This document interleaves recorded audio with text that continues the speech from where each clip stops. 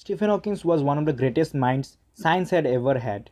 His death on 14th of March 2018 has left intellectual vacuum in his wake.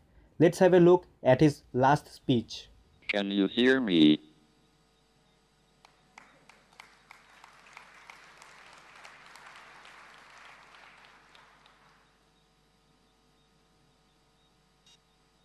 I am delighted and honored to receive a special prize in fundamental physics.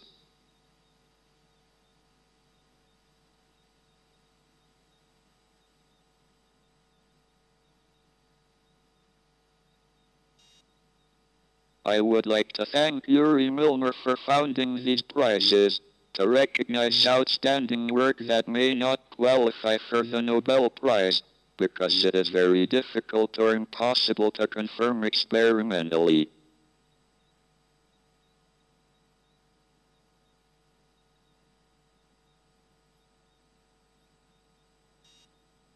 In my case, although almost every theoretical physicist agrees with my prediction that a black hole should glow like a hot body, it would be very difficult to verify experimentally. The temperature of a macroscopic black hole is so low. I thought my discovery would never be confirmed or recognized. However, it could be claimed that it has already been indirectly confirmed by observations of the microwave background.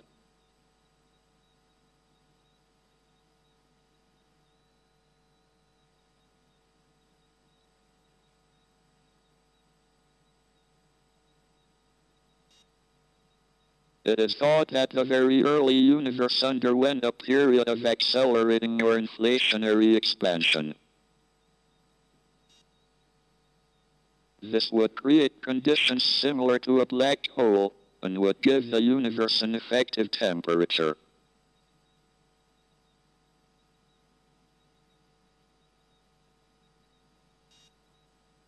Thermal fluctuations in the very early universe would be frozen in and would cause small differences in the microwave background in different directions. These have been observed and agree with predictions.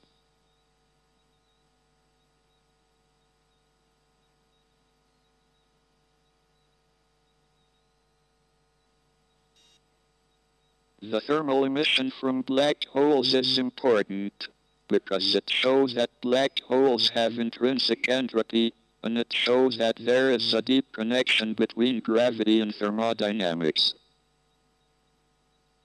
It plays a key role in the ADS-CFT duality.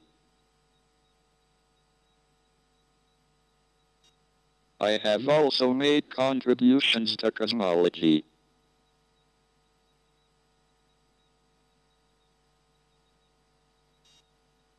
My early work with Roger Penrose showed that classical general relativity predicted the universe had a beginning in a Big Bang singularity.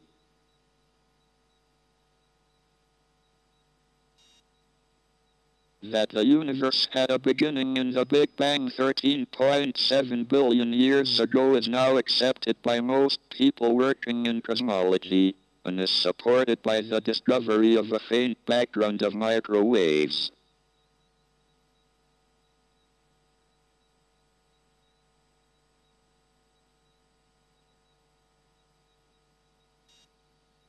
The prediction of singularities indicates that classical general relativity breaks down and has to be replaced by a quantum theory of gravity.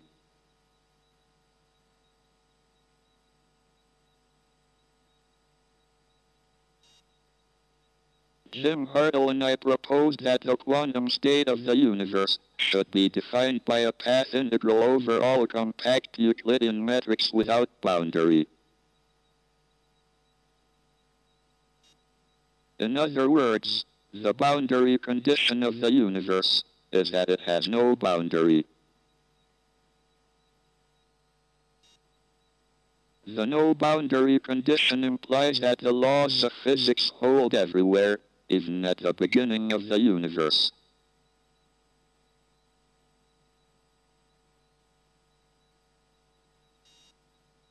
Together with Thomas Hertog, Jim and I showed that the no boundary proposal predicts that the universe began with a period of inflation, a prediction which may be confirmed tomorrow, when the data from the Planck satellite are published.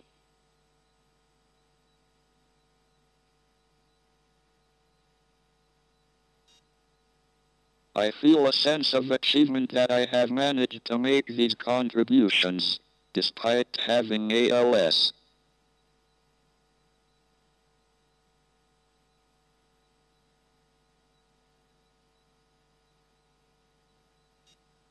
I have not allowed my disability to stop me doing most things.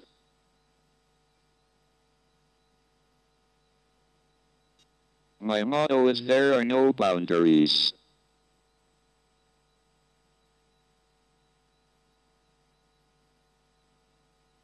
Thank you.